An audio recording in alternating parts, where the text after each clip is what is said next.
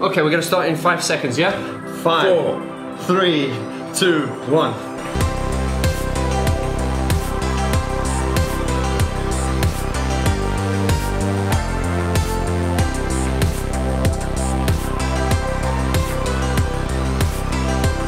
Hi guys, and welcome to Piano and Keyboard Artist, where we discuss the artists related to pianos, keyboards, and synthesizers. And I was not lying. We're here with Mr. Rusty Egan, the legend himself. Hi. Rusty, how are you, sir? I'm very well. I didn't know it was called Piano and Keyboard Legend. Oh, well, uh, yeah, piano and keyboard artists. Um, so, Rusty, th- there is so much we can talk about. Yeah. Um, as I say, when Mark, um, one of my subscribers, introduced me, he said he can get an introdu- introduction with you. Yeah. So he said Rusty Egan, and I knew the name, but I couldn't picture it. So, That's exactly who I am. so, so anyways, the, the point I'm trying to make is, guys, you go onto Google and you type in, you type in the name Rusty Egan, and then the name and the face, and you go, oh, that geezer. And I thought, I've seen this face everywhere. I even, even to my fiance, even to my dad. My dad said, I'm doing, I'm doing this interview. He said, oh, I know the face. So what I'm trying to point out is here, guys, Rusty. If you don't know the name, Rusty is a DJ, a musician, a producer, and what I would like to call a proper celebrity before be, before celebrities became shit. You know, the, these days it seems like anyone could be a celebrity for going onto a TV show. And I'm not blowing smoke up your ass. You can give me that tenner later. Yeah. But um, it is interesting whenever you watch a documentary or any, any kind of nostalgia show, you will see Rusty because he's, as I say, he's, he's just kind of like the go to guy. And he's a larger than life character. So this is probably as much as I'm going to be able to say. Yeah, you won't get a word in once I start.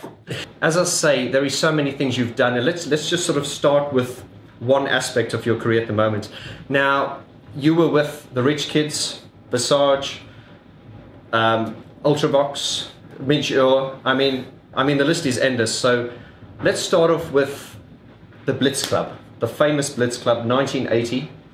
You started that with Steve Strange in Covent Garden. Yeah. And what are your memories of that? Okay. I, I, I could re change what you just said. Go on. Okay. Number one, I'm a musician. Yeah. So you're a musician, a producer. I'm a drummer. Yeah. And so was Phil Collins, a drummer. Yeah. And um, uh, so was the lead singer of the Eagles, a drummer. Correct. and um, so was Dave Clark Five, a drummer, um, Cozy Powell, a drummer. Um, is that my phone? I thought I'd put it on silent. Oh, somebody needs a drummer. I'll Go and answer silent. No, I'm not answering now. Sorry, It's going to be a long it interview, guys, silent. but uh, you signed up for this. So. no, I thought I'd put it on silent. I was Mate, I love busy. your realness. Yeah, so the There's point no- go on. Mm. is um, about a drummer in the 70s was a drummer was the least uh, uh, respected member of the band and John Lennon famously said Ringo's not even the best drummer in the, Beatles. Beatles, that's right, yeah. Um, and then other people went, the drummer is the backbone of the band. And as a drummer, I was first attracted to drumming through my parents, who were musicians, and my dad telling me about these famous drummers like Phil Seaman, um, who was a, a drug addict drummer, and he used to proudly tell me how they used to put him on his stool, and then the jazz musicians would play intricate, intricate time signatures, which is where I learnt about take five, two, three, four, one, two, four, five, one, two, three, four, five, and believe it or not, I followed uh, intricate drummers like Bill Bruford and a band called Egg. And these guys were all keyboard kind of hippie which sort of led me to Tangerine Dream and led me to um, uh, electronic type. What would you call them now? Sort of a serious. Serious music. Yeah, Yeah. not pop, not that Yeah. you know, nine minute long track. Diodato, Diodato. yeah. So as my dad was into jazz and as I was into learning the drumming Mm-hmm. and learning the time signatures, um, I went for the National Youth Jazz Orchestra, Mm-hmm. and there were like four drummers, and you got to sit there, and they picked you, and you went up, and then it was like that film with the drummer, you know, Oh, yes, yes, yes. that yes. film, and, Yeah. and and you were crap, and you were kicked back again, and you had to go and learn your paradiddles, And uh, so you, so you were learning all day long, yeah. And then you heard Hawaii Five O, you know, the drumming. You found a bloke called Billy Cobham, who was played in my Blitz Club sets, um, a track called Storm. So anyway, the point was I was really into being a virtuoso musician as a drummer, uh, not just Ringo. And I went to see Billy Cobham, and they had like the drums like that, you know, and he could go, you know. Anyway, two or three drummers ahead of me was Richard James Burgess. And Richard James Burgess um, used to wear clogs, and uh, he'd slip them off, and he'd just sit there, and he was like a machine. He just the legs, he could just do it. He was a, and I was looking at him and listening to him and thinking, my God, it's going to take me, it's going to take me years to be able to play like these guys.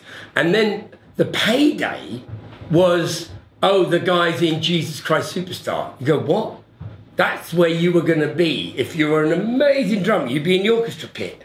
It was like, oh, I don't want to be that. You know, I'm not going. I'm not killing myself to be the drummer in a theatre playing Jesus Christ Superstar. Forget that. And um, so I started answering adverts. Drummer wanted, and they'd normally sort of say Crosby, Stills and Nash, California. And bottom line, you just went around everywhere, reggae, whatever, and you just played with everyone till you met some people that possibly might want to make some music. Mm-hmm. Now this is 70s. Mm-hmm. This is pre, pre sort of like punk, mm-hmm. before punk. This is like Rod Stewart's in the charts, David Bowie's in the charts, Alice Cooper's in the chart, pop music is in the chart. But albums were like where the musos were, you That's know. right, yeah. You know, you, you listen to Edgar Froese and, you know, you listen to all these like experimental people because you were a musician and you met other musicians who had fretless basses and talked about Jaco Pastorius and and and again it was like this is too complicated. This is too much you know. Um, how come all these pop bands and got three chords you know? Mm, mm, mm. You know Yeah. son of my father you know? And on that record son of my father was and what what is that and watching the old grey whistle test i saw brian eno Yes. and he wasn't a musician. He, he he's just a bloke twiddling knobs. A knob twiddler, is it? Yeah. And then 1974, I think it was, um, uh, 73 maybe, Autobahn was this novelty record, as was Popcorn. You know, the synthesizer was like Rolf Harris, you know. you know what I mean? Hey. So electronics was like tomorrow's world. It was, hmm. and you were a kid watching Top of the Pops. You saw two drummers with Gary Glitter. Don't mention the name. and you saw Dave Clark at the front, and you thought, I want to play the drums, but I don't want to play that music, mm-hmm. and I don't want to play that music. So I answered all these adverts and to very quickly jump it, I spent three months playing with the Clash. And because that three months connected me to Glenn Matlock, mm-hmm. and it connected me to the punk scene, mm-hmm. and I went out every night. And I was at the Banshees, I was at, you know, the Sex mm-hmm. Pistols, I was at the Clash, I was, I met everyone, and I saw everyone. And arrogant, I thought they're all crap drummers. They were all crap, you know, because I'd been this virtuoso drummer, Sure. Jazz orchestra, time signatures. Mm. I could go around the drum kit, and there were people going Oh, yeah. one, two, three, four. And of course, I'd been in the room when we. I didn't write, but you know, career opportunity is the only job you get. London's burning. London's burning with and piece of piss. I was like that, piece of piss. But the Clash weren't looking for a drummer; they were looking for a fourth member of the band, who was politically aware that London's burning with boredom. That was politically aware that I'm so bored of the USA. Well, I wasn't. And I was like, sort of, yeah, all right. I don't fucking care. Just play the song. And they were like, no, we, we got to cut your hair and put you in these zipped up train. we got to spray you. And, and I was like, wait, get someone else. I'm not doing that. Because I'm quite into my clothes, I quite like what I'm wearing, and I, I thought I looked good. Yeah, I was down the King's Road, I had straight jeans on, I was like, you know, I was clued up. Yeah. And um, I wasn't going to be a clothes horse. I wasn't going to be told what to do. So um, to get very quickly, I went through the whole punk scene, playing with loads of bands.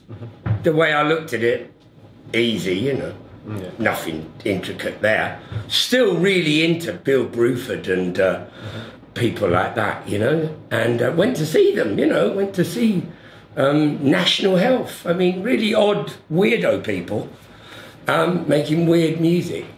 And then I met Glenn Matlock. So that brought me to the, to, to the Rich Kids. Oh, to the rich kids, yeah. And that brought me to Midge Ure. Ah, okay. And we brought in um, Mick Ronson from David Bowie's Spiders from Mars, Ah, okay. who produced the Rich Kids album. Yes. And that brought me into how to record. And we did it in Johnny Kongos's studio. Johnny Kongos's I'm Gonna Step On You Again. Um, we did it in his studio. And then we toured the country and got spat at and had bottles thrown at us. And that was my first experience of like Manchester and Birmingham. Yeah. I thought, scum, scum. I like Roxy music. We, we, you know, we're not like that. So Midge and I got a CR78 drum machine. Mm-hmm. And we got um, a CS80 Yamaha. Yes. And we recorded in the year 2525 mm-hmm. by Zager and Evans mm-hmm. to see how it worked. You know, Ooh. we had the vocoder and we made that and we thought, and I played that in the Blitz and Ah. people danced to it and I mixed it with the, the model by Kraftwerk, you know. Oh, yeah, yeah. So, I thought, oh, it works. It works. We're making music that fits with the music I love. And the music I love is very well documented. Uh, You can go to my YouTube channel. Absolutely. It's not a channel. It's just Rusty Egan playlist. Yeah. It had about six, seven hundred tracks on it, and then you know what they do on YouTube? Yeah. Deleted. They do, yeah. And I forgot what it was. What was that? What's been deleted? I don't know. I don't manage it. Yeah. I just put a library up there because so many people put up libraries of Rusty Egan, and I see tracks. I didn't play that. Hmm. I didn't play that. They think I played that. You know. Yeah. So the real point for anyone watching your channel is what did Rusty Egan do in 1978 9 that instigated the sound of the 80s? Yes. That's the important thing. Um, and what I did was, I did exactly what anybody does today. I hate all the music that's being sold to us today.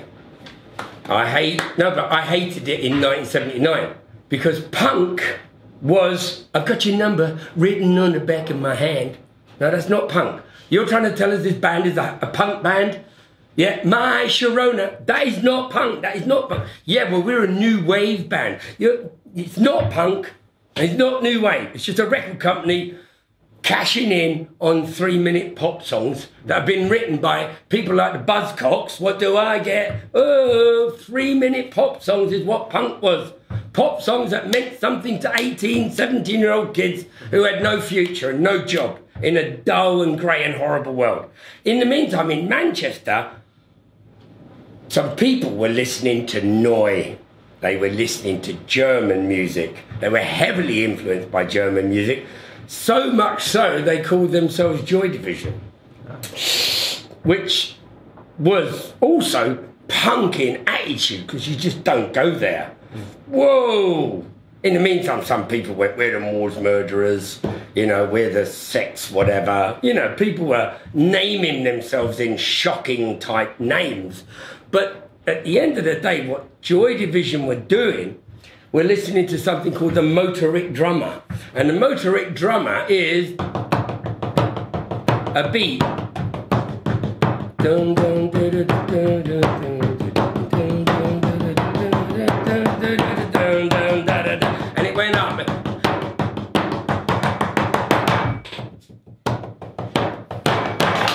and they were like, and you could just keep going. You could just keep going. You could just sing, you know, every song you want. Love, love will tear us apart again, right? But you could go red light, white light over in Liverpool.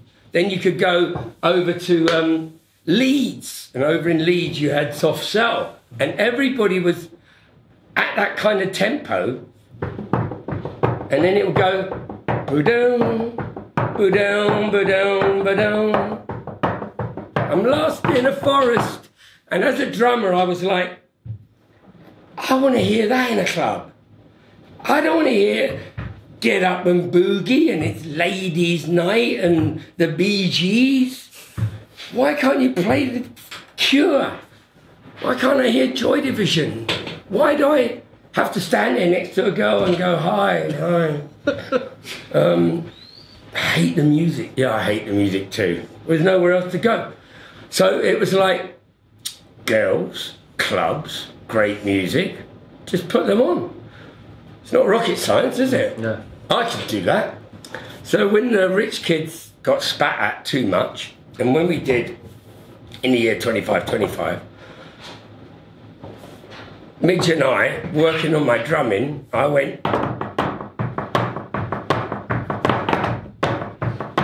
And then Midge went. Ba da bam, ba da ba bam, ba da da down,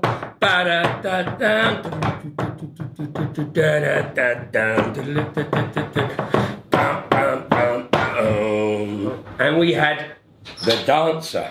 And the reason it was the dancer was because we wanted people to dance to that beat, change the beat. And basically, um, we had these two songs and we played them in the Blitz Club and people danced. And I thought, this is working, this music's working. And um, with my record collection, more and more people, with Steve bringing more and more people, more and more people just like whatever the sound was. And they didn't know it was Hiroshima Mon Amour by Ultravox, or they didn't know. They were just clubby, student-y people. These were underground records. Magazine, Ultravox, Kraftwerk, Neu, Can, La Dusseldorf. Nobody knew what the music was, but they loved it. Hmm. What, what is that music they're playing in the Blitz Club? I love it. And, you know, obviously they knew David Bowie and Roxy Music and Grace Jones and Lou Reed, but I was running out of music every week playing Satellite Love, every week playing David Bowie, every week. And every week on the radio, a new new wave band that would just meant nothing. Public Image I played, Siouxsie and the Banshees I played, but not many. I was more interested in this sound. So then I started to um, invite down Billy Currie, John McGeoch, Dave Formula Magazine, um, and Phil Lynott was coming down because of Midge. And um, they were coming up and saying, What's that record? What's that? And they were going to their bands and, and, and writing songs, saying, I heard this record the other night that Rusty played.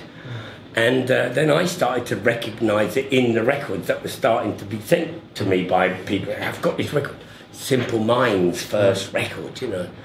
Um, so I went out shopping and I found Human League, um, Dignity of Labour, and um, I found um, Patrick D. Martin, I Like Electric Motors. A very odd, odd record, but I squeezed it in. But I found Yellow, Yeah. Yellow Magic Orchestra, Telex, and I sort of built this little playlist up of this sound of odd people that came from Belgium, Sweden, Russia, um, all over there, but not American rock and uh, American music and soul and funk and disco. Obviously, I played what you would consider to be um, today high energy gay disco, but it wasn't. It was I Feel Love. It was Giorgio Moroder. It was uh, Sylvester. Good stuff, yeah. Yeah, So as you see, guys, this gentleman here has got a lot to say.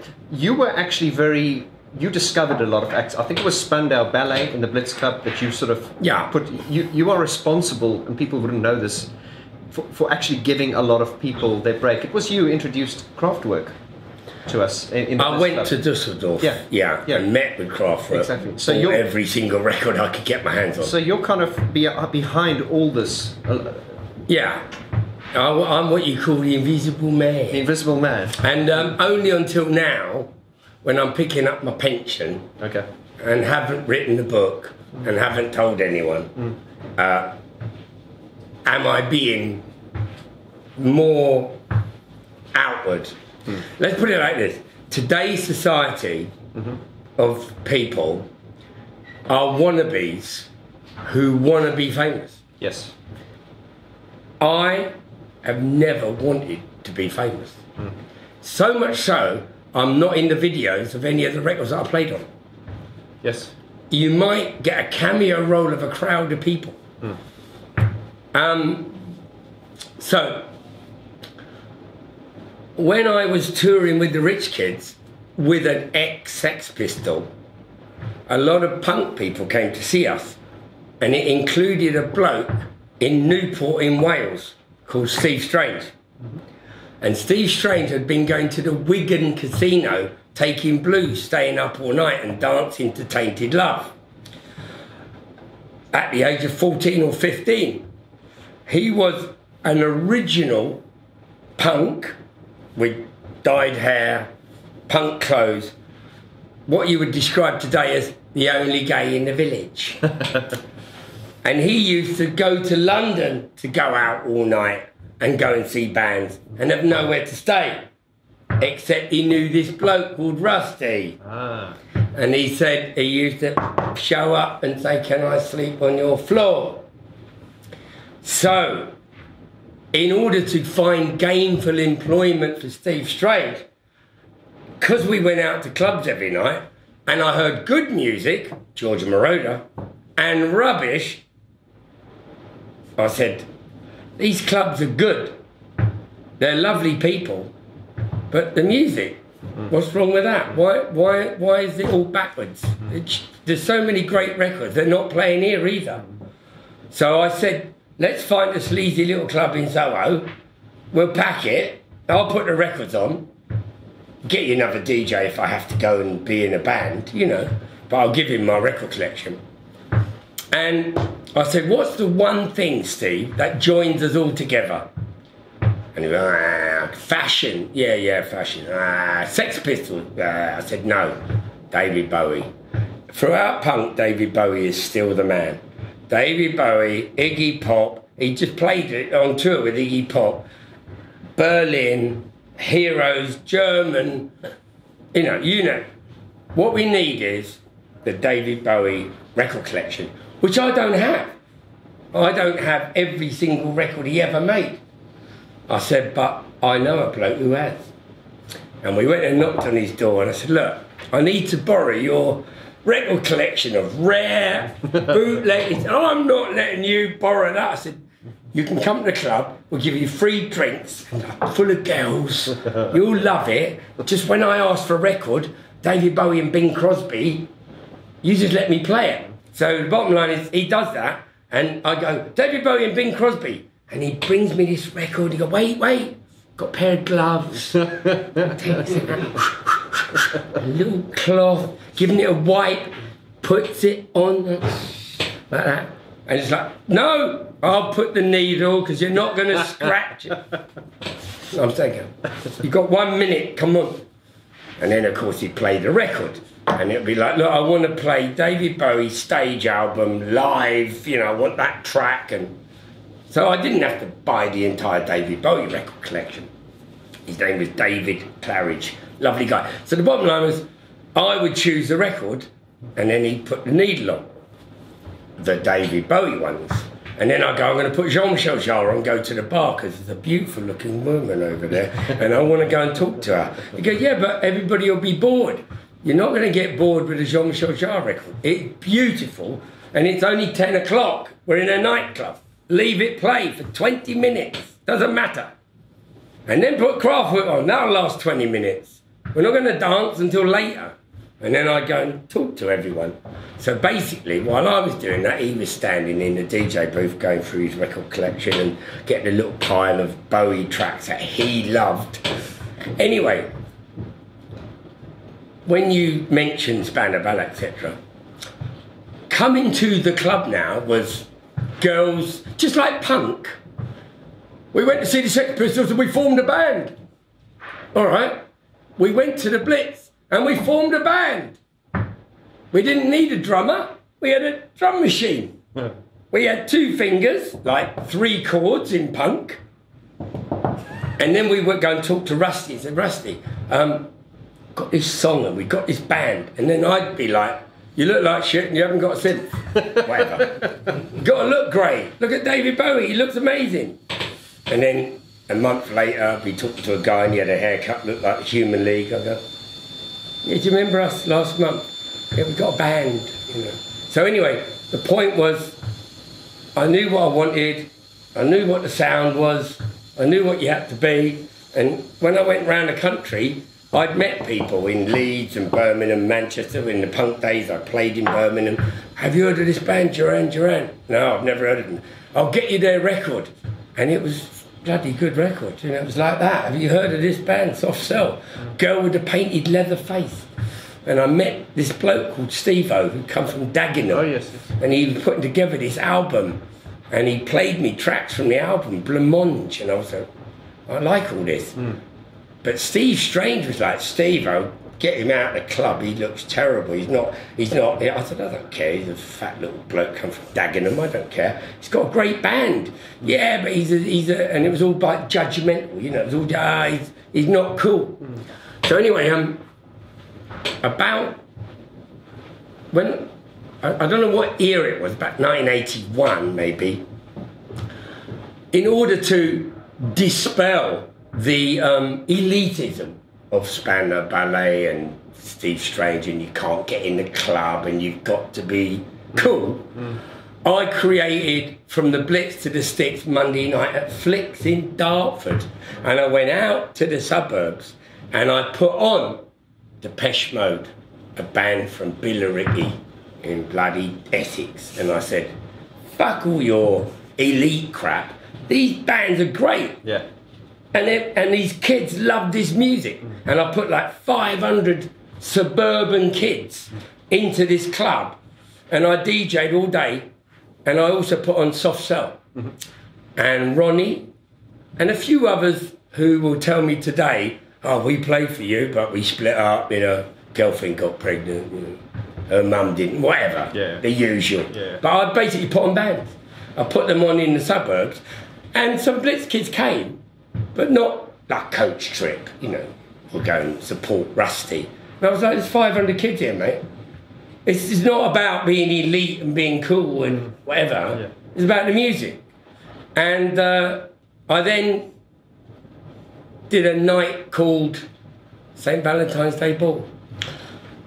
And I hired the Rainbow, which nearly killed me financially.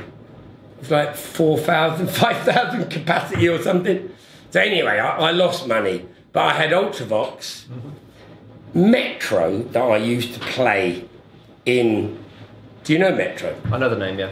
He wrote Criminal World on the David Bowie album. Okay. But he also wrote um, for Ronnie, Okay. the French girl that I made, which is on my new album, yeah. Back to the Future. Anyway, so basically, I had all these artists that I loved.